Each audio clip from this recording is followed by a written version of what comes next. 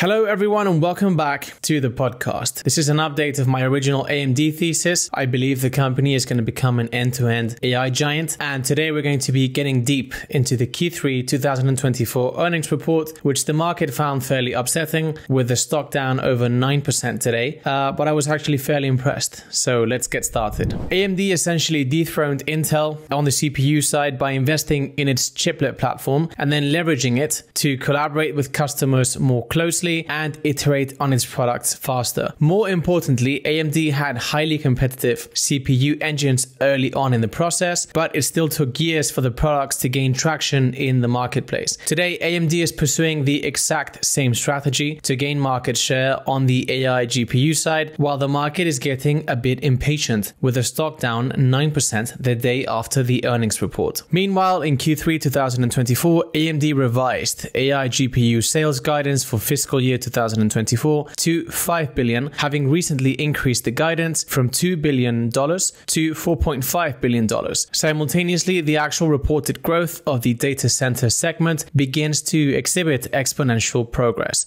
as you can see in the graph below. Data center revenue in turn accounted for 52% of total revenue this quarter, with the segment thus becoming a predominant source of revenue for AMD. With the stock down 27% from all-time highs, the market market is barely rewarding AMD for the above achievement. The prevailing view right now seems to be that AMD will not succeed simply because it hasn't obliterated Nvidia by now. But this fundamentally ignores the main driver of AMD's business, which is not technology actually, which is a very important component of the operation, of course, it's trust. No matter how good the technology they make is, customers will still need time to get comfortable making investments in it. This was true for CPUs back in the day and will be true for any compute engine they bring to the market over time. Towards the end of the Q&A section of the Q3 earnings call, an analyst asked Lisa why AMD is expected to bring in under $10 billion in revenue from AI GPUs, while Nvidia is expected to bring in from 50 to 60 billion dollars. In my view, understanding Lisa's answer requires a certain degree of wisdom and necessarily an intricate understanding of long-term value creation processes. But the main takeaway is that no matter how good your tech, you're not going to take take the whole market in a bunch of quarters. It's going to take a few years. If you remember, Harsh, and I, I think you do, our EPYC ramp, you know, from Zen 1, Zen 2, Zen 3, Zen 4, we had uh, extremely good product even back in the Rome days, but uh, it does take time to ensure that there is trust built, there is familiarity with the product set. Um, there are some differences, although you know, there, you know, we're we're both GPUs. There are some differences, obviously, in the software environment, and people want to get comfortable with the uh, the workload ramp. So, from a ramp standpoint, um, I'm actually very positive on the ramp rate. It's the fastest product ramp that I've seen, um, you know, overall. And um, you know, my view is, you know, this is a multi-generational journey. We've always said that. Um, we feel uh, very good about the progress. Um, I think, you know, next year is going to be um, about, you know, expanding both customer set as well as workload. And um, as we get into the MI400 series, uh, you know, we think it's an exceptional product. So all in all, uh, the ramp is going uh, well, and, you know, we will continue to earn the trust and the partnership of these large customers.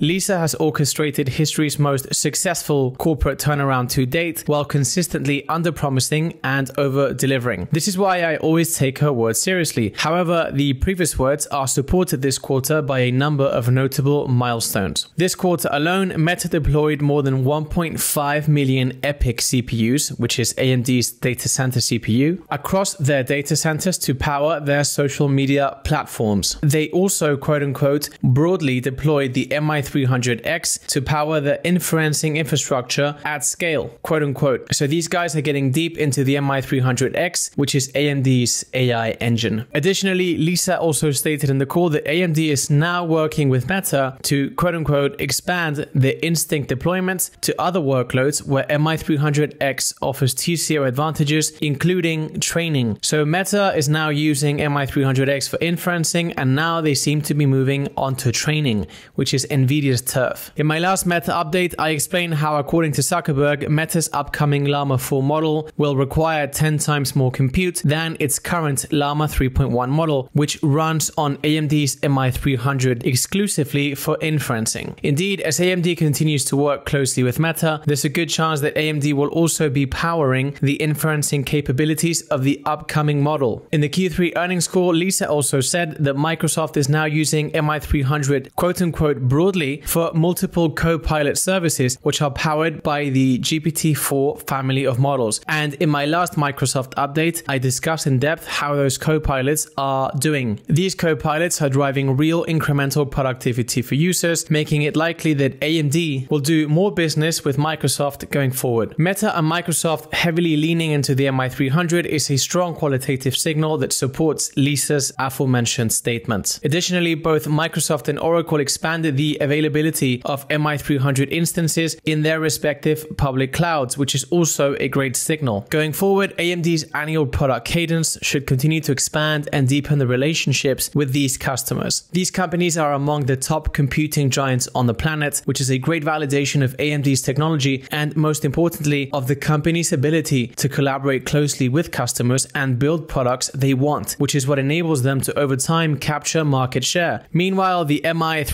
MI325X launched earlier this month with 20% higher inference capacity than the MI300. The MI350 is on track to launch in H2 2025, and the MI400 is on track to launch in 2026. The upward revision in AI GPU guidance from $4.5 billion to $5 billion is due to customer engagement, quote unquote, broadening, according to Lisa. Per Lisa's remarks in the Q3 earnings call, it seems that AMD is seeing customers increase the range of workloads they are running on Instinct accelerators. AMD seems to have an edge in inferencing, as I predicted in my original AMD deep dive, which is what has gotten clients through the door for now. But now customers are beginning to use Instinct accelerators for training workloads and other kinds of AI workloads. Here's what Lisa Su said about this during the Q3 earnings call. So uh, uh, certainly from the 5 billion that we're talking about, um, the, the early traction has been uh, primarily with inference, just given the strength of the product portfolio. 300 is like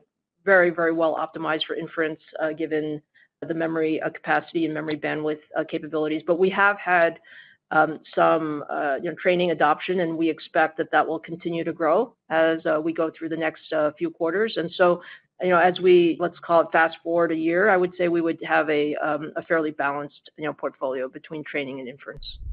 Additionally, the operating margin of the data center segment came in at 29% in Q3, up from 19% in the same period a year ago, so Q3 2023. In this period of time, the revenue has increased 221%, which makes the increase in the operating margin even more formidable. This suggests that the segment's operating leverage is rising despite the rapid increase in volume. This is, after all, AMD's fastest growing segment ever. As do other aspects of AMD's operation, this points to excellent management and to the fact that AMD is likely not lowballing Instinct accelerator prices to drive early adoption. The increase in operating margin points to customers finding real value in AMD's accelerators. And of course, if they didn't find value in the accelerators, then Meta wouldn't be going all in in the MI300 for inferencing, which is going to be the biggest workload a few years down the line. Certainly, how one views the aforementioned advancements is a matter of duration. With a sufficiently long term investment horizon, it would seem that AMD is executing just fine in its mission of capturing meaningful market share in the AI data center market. Meanwhile, the client segment is progressing well, with AMD expecting to have over 100 Ryzen AI Pro commercial platforms in the market in 2025. This processor represents AMD's third generation of AI enabled mobile processors for commercial use. Their most distinctive feature is two NPUs, neural processing units, which enable the acceleration of AI workloads. Indeed, next year, Microsoft will stop technically supporting millions of Windows 10 PCs, and the aforementioned platform set up AMD very well to cash in on the resulting PC refresh cycle. Consumers will shift towards AI based PCs with or without a recession in time,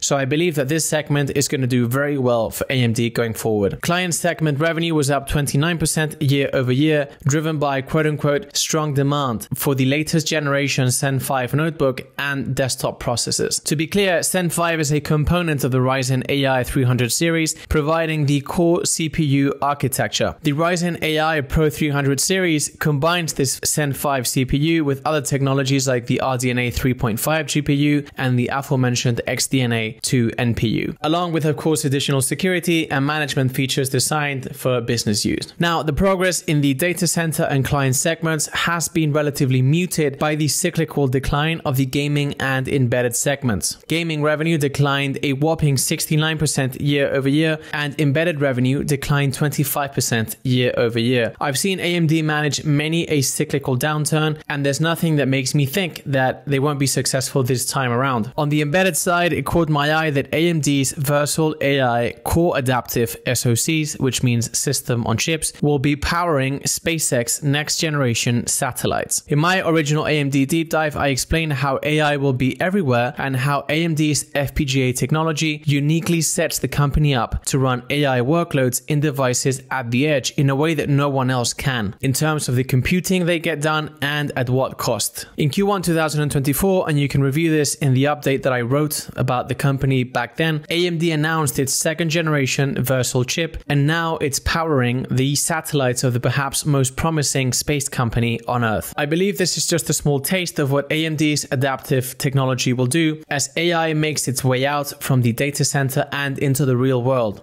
In fact, many times on X in the past, I have shared my opinion that AMD's AI at the edge business will be as big or even bigger than NVIDIA's AI training business at present. In all, my long term AMD thesis remains intact. I see the company making great progress, and the pieces are really starting to come together for AMD to become an end to end AI giant. I believe that in five years' time, the company's income statement will be hard to recognize, and that in normal circumstances, so unless something really bad happens in the world, which I hope doesn't, I believe that the stock will be much, much higher in five years' time. All right, that's it for today. Thank you very much for joining me. As always, if you enjoyed this, can I please ask you one favor? Please share this with one friend whom you think will enjoy it. These deep dives are for free, and so the only way this grows is with your help. If you haven't, smash that subscribe button, leave me a comment, tell me what you think about this thesis. Am I right? Am I wrong? Is this going to be a great investment long term or not? I want to hear your thoughts. And thank you very much. Take care, and until next time.